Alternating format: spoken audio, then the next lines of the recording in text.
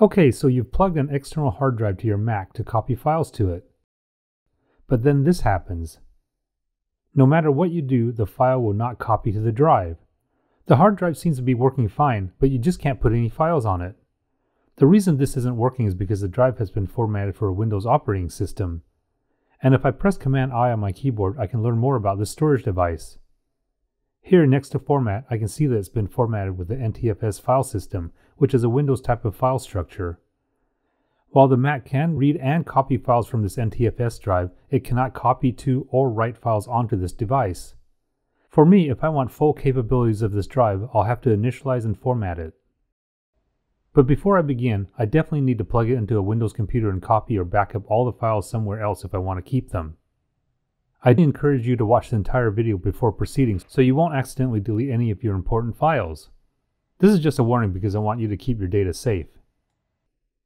To format the NTFS drive, I'll connect it to my Mac. Then, in the Launchpad, I'll type disk utility in the search bar. After launching the disk utility, click on the problem drive in the left column.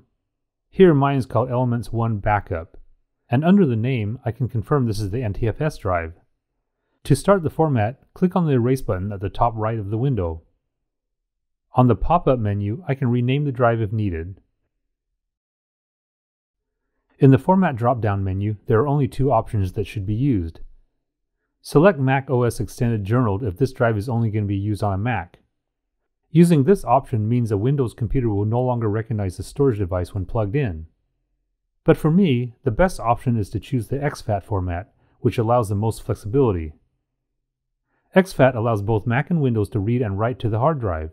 It's actually the best of both worlds. After you choose one of those formats, the next step is to click Erase.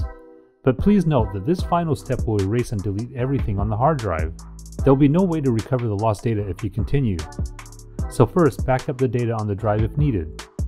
I'm not ready to erase this drive yet, so I'll just cancel out.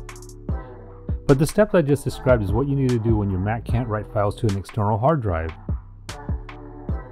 If this video was helpful, please give me a thumbs up and hit the subscribe button to stay up to date on all my weekly videos.